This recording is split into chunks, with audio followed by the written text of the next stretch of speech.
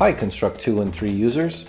Have you ever wanted to be able to add giant bosses to your game? Or have silky smooth tweened animations for all your characters? Or have the ability to change character appearance or equipment on the fly in your game? Or have multiple tweened and animated spawning points for your animated objects to shoot from? Or to add multiple animated collision boxes to your characters and bosses? Spriter Pro makes all of this easy. And this short video is going to help you get started. Download and unzip the tutorial file, find the player.scml file in the resulting folder, and open it in Spriter. This Spriter file has all the animations we need ready to go, but for us to use it with Construct, we need to save it in a special way first. Choose File, Other File Actions, Custom Save Options in Spriter's menu, and then make sure all of the special save options are all turned on by making sure there's an X in each of the boxes. Then click Apply. There are actually two formats you can use for Spriter objects in Construct. For this video, we'll be covering the mode more optimized for performance, but a future tutorial will cover the second format and its benefits versus its trade-off. Choose File, Generate Sprite Sheet for project images. Make sure Save Sprite Sheeted Project is turned on and it's set to save as SCON. Also make sure Embed Sprite Sheet Info into Project File is also turned on. If the rectangle surrounding the previewed sprite sheet is red, then increase the size of the sprite sheet until the surrounding outline turns white, indicating it's successfully fitting all required images into the sheet. Click the small button here to set the base file name, choose a name, and direct Spriter to save the exported files into the currently empty Spriter Exports subfolder I've already pre-created for you. Now click OK. Once Spriter is done, you can look in the folder and you'll see a SCML, SCON, JSON, and PNG file have all been created using whatever name you chose. Now find the pre-made construct file in the folder and load it into either construct 2 or construct 3. You'll see in the first layout we have a very simple little platformer game engine set up using a standard construct sprite using the platform behavior. What we're going to do is bring in our Gray Guy Spriter object and attach it to this rectangle sprite. So while the player is actually controlling a box, they are seeing a fully animated character via the Spriter object. So let's go to the second layout called Spriter Stuff, which you'll see is currently empty. Construct 2 users should do the following. Double-click anywhere on the canvas and choose to insert an SCML Spriter object.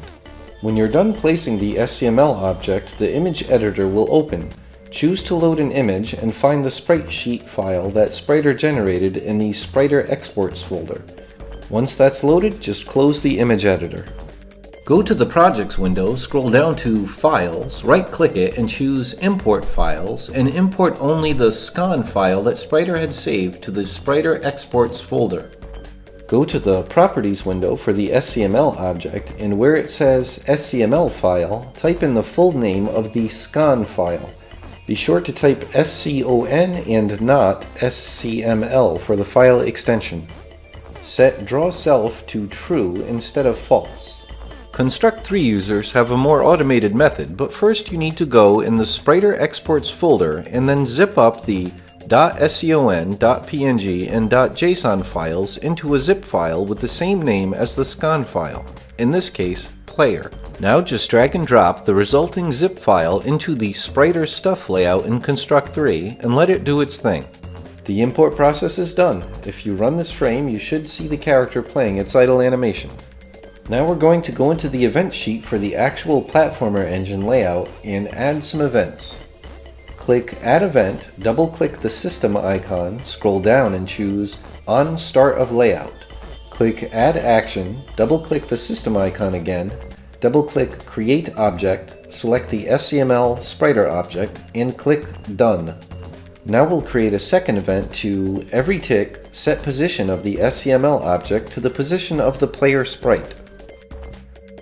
Add a sub-event to check if the vector x of the platform behavior of the player sprite is greater than 0, and if so, set the mirror on x-axis of the SCML object to do not mirror on x-axis.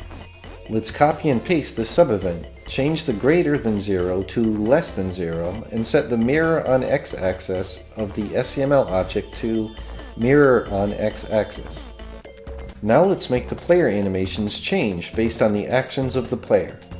Create another event that checks if the platform behavior of the player sprite is on the floor. Add the additional condition that the player sprite speed is 0 and a final condition checking if the current playing animation for the SCML object is idle. Then invert the animation check. Click Add Action for this event and change the animation of the SCML object to idle. This is where it's beneficial to keep the Spriter project open in Spriter. Animation names are case sensitive, and it can be easy to forget the exact names you used for each animation. You can go back and check or even copy and paste the animation name to ensure you are getting the exact name you need.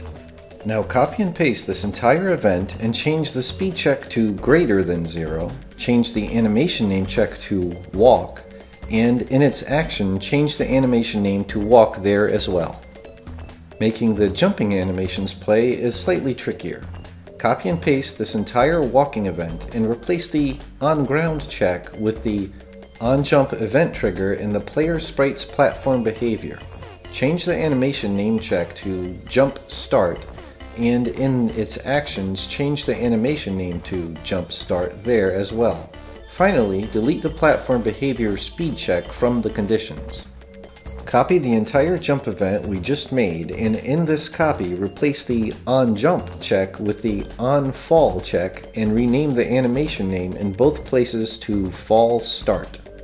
We're almost done. Create a new event that checks when the animation name jump start finishes playing in the SCML object and create the action to change its animation to jump loop. Copy this entire event and in the copy change the animation name jump start to fall start and change the animation name jump loop to fall loop. Finally, let's go to the platformer engine layout and turn the initial visibility off for the player rect sprite. Run the layout to see your fully spriter animated character working in your platformer game engine. You now know how easy it is to import and control spriter objects in Construct 2 and 3. Check the description for links to other tutorials that cover more advanced Spriter features. We're also about to release an entire platformer game engine for Construct 2 and 3, which uses Spriter for the player and bosses. This engine will be available in two versions, one of which will be a free bonus for those who purchase Spriter Pro or the Spriter 2 pre-order. Thanks very much for watching.